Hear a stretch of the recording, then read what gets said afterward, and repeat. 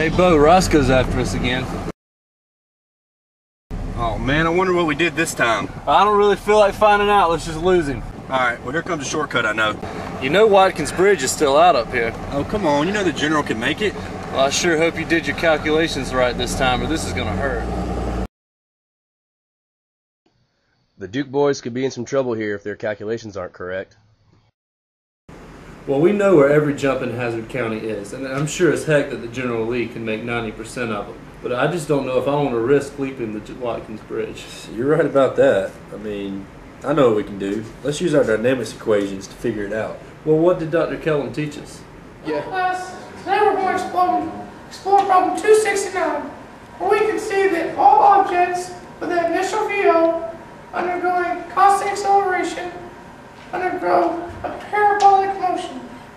So as long as we know delta x and VO using this guiding equation, we can certainly find delta t, giving us VO cosine of delta, or theta times delta t equals delta I x. don't remember, and I know you don't remember because you were sleeping the whole time. Cuz you were too, but I still don't want to risk it. Well, maybe one of these books will have something useful in it.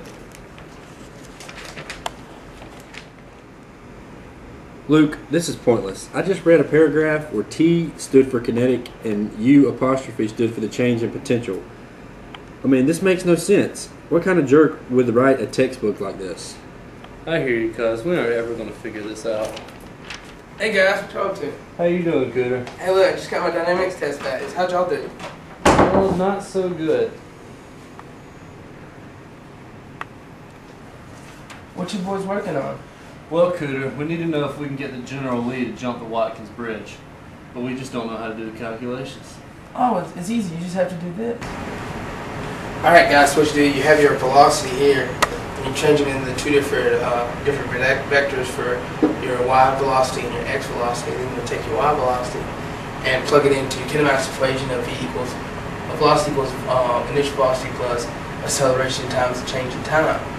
And then another question down here we have was x equals, or position equals um, the initial position, position plus your your velocity times t plus your acceleration over 2 times t squared. And your acceleration in the y direction, this, this I mean, for your x direction, is equal to 0, so that cancels out, and you, you end up with this.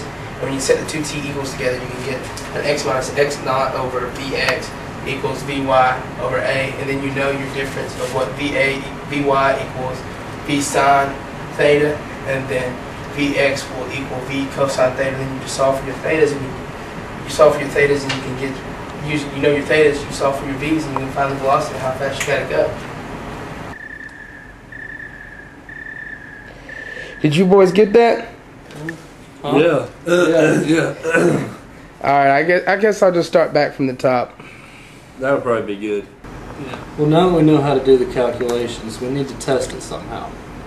Yeah, maybe we should perform a scaled down experiment to get a good idea of what we really need to do with the general. Yeah, we'll get Uncle Jesse's remote control car and see how fast it goes. Let's get to work. Now, Luke, how exactly do we plan on calculating all this for our scaled down experiment? Well, we'll use the video camera to analyze the motion of the RC car as it makes the jump, and then we'll use our dynamics equations to figure out what we have to do in our real car. All right. Cooter, did you bring Uncle Jesse's remote control car?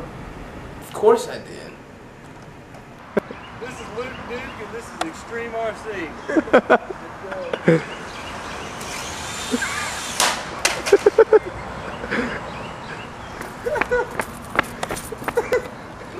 Is it still wrong? Here. Luke, I can't believe this thing still works.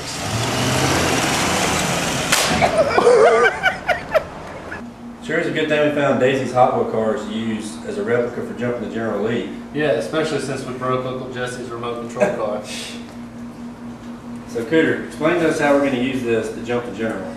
Alright, so like we uh, showed you um, earlier, we have the kin- kin- kinematics equations for uh, constant acceleration, and we have it. We you, the t- two we'll use is the the one for constant acceleration and uh, change in velocity, and with with the change in time, and the other one be change in um, uh, change in position with change in time. So when we ever, whenever we get we plug in the numbers the, for, for the change of velocity with respect to time, we'll use our vertical vertical velocity that we have, and that'll be halfway across our arc. Um, and so when we end up, and once we, we'll get that in terms of just t, and so and then we'll use our position, uh, our position kinematics equation to use um, for our initial. We use our initial um, position and our final position and our change in time, and we get that in terms of time, and we have a velocity, and we and we don't have to worry about the acceleration term because their acceleration is zero since we're once we fly through the air, we're not doing any acceler- acceleration, and so then when we plug them all, we can plug those two back together like we showed you, um, like I showed you before whenever y'all were sleeping, and uh, but we ha- what we have to remember is that uh, our vertical time is only half the time of the distance because it's only half the arc. And so we'll multiply that, that by 2 and plug that in for our equation for t. What exactly are these dimensions of the jump that you're trying to do? All right. Well, from pavement to pavement, we've got 75 feet, and the road left an angle of 18 degrees. 15 degrees. And so when we plug that all in, we get uh, six. We'll get a 65 feet per second, and then when we transfer that over to uh, miles per hour, and just uh, multiply that by uh, uh, three 3,600 divided by 5,280 for our conversion factor, and then we get uh, 45 miles per hour, and that will y'all be able to travel the uh, 75 the 75 feet from the bridge from each side of the bridge. Does that work for you? All right, now we can go take this. We can go make a replica of this jump and use and jump the replica General Lee on it just to make sure and test our calculation, make sure it works right. All right, All right. all right let's go. Here we built a scaled down model of the actual ramp. By marking evenly spaced partitions on the ramp and using the video camera to determine the amount of time it took the car to cross them, we were able to come up with initial velocity as the car left the ramp. Since we didn't take wind resistance into account in our calculations, the numbers weren't exact, however, they were relatively close.